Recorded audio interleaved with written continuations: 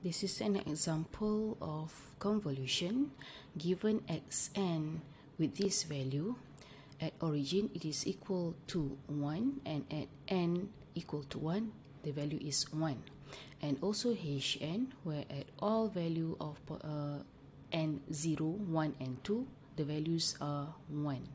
So demonstrate the convolution process yn equal to hn convolution with xn using graphical method. So in this case, we will shift the value of x. So first, we need to fold xn to get x 0 minus k. In this case, n is equal to 0. So this is a first step which is folding. And then we uh, in a second step, uh, we don't need to shift this one since n is equal to 0. So in the third step, we have to multiply x with h to produce output yn. Okay, in this case, at negative 1, since there's no value at h for n equal to negative 1, then the multiplication is 0. For n equal to 0, we multiply x with h, 1 multiply with 1. So the total value for this convolution is 1. Okay, the next one,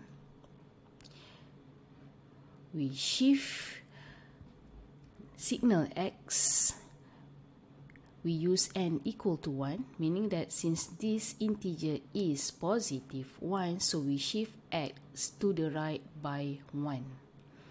Okay, for this value, n equal to 0, we multiply with h value for n equal to 0. So 1 multiply 1 is equal to 1. Plus, for signal at n equal to 1, 1 multiply 1 is equal to 1. So the multiplication values, we sum the multiplication values for n equal to 0 and n equal to 1. So we have 1 plus 1 equal to 2.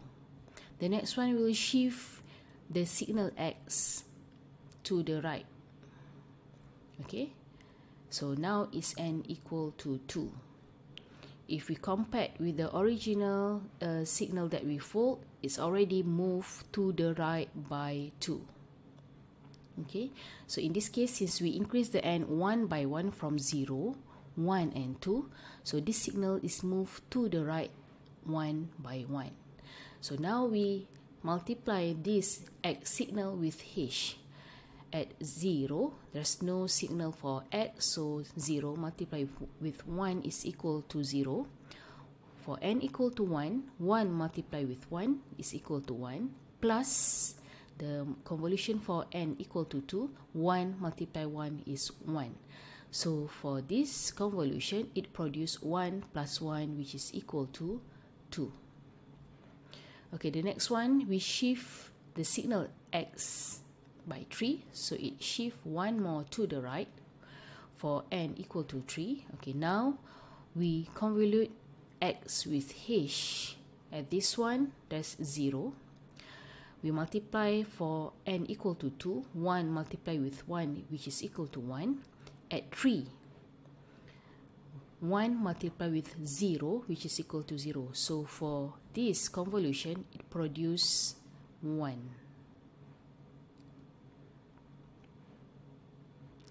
So alternatively, besides the graphical method, we also can use table method to determine the convolution between two finite sequences. So we use uh, the value of given previously for xn and hn in this table. So on this side, we include the value of hn base uh, given in the question. So for h0, it is equal to 1. For h1, it is also equal to 1 and h2 equal to 1. On the top, we wrote the value of xn signal. So for x0, it is equal to 1. For x1, it is equal to 1. Okay, in the middle, we multiply or we convolute the signal hn and xn for each column and each row. So h0 multiply with h0, 1 multiply with 1, 1.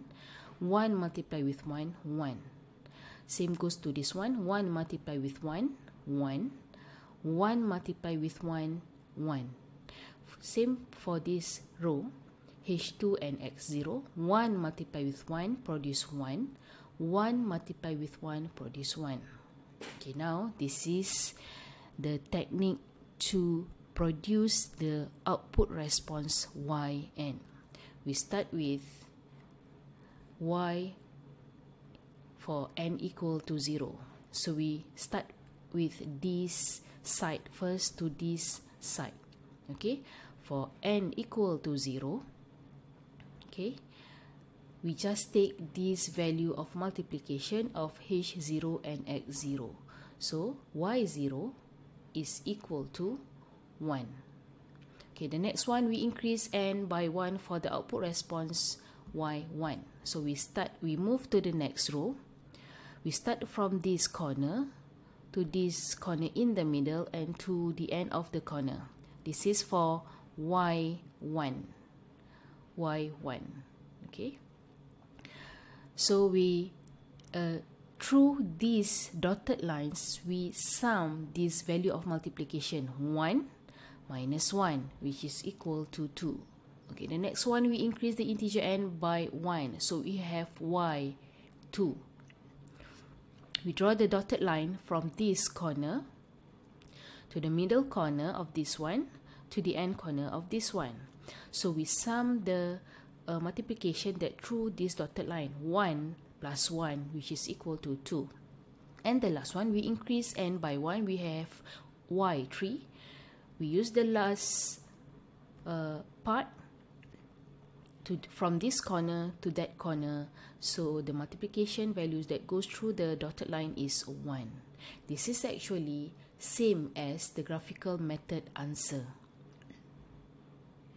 Now we can write um, this is at origin okay this is the value at origin h0 x0 so we have summarized the convolution of yn which is h n convolute with xn we can write in terms of this uh, format 1 2 2 and 1 so we bold and underline this one meaning that this is the value of yn at origin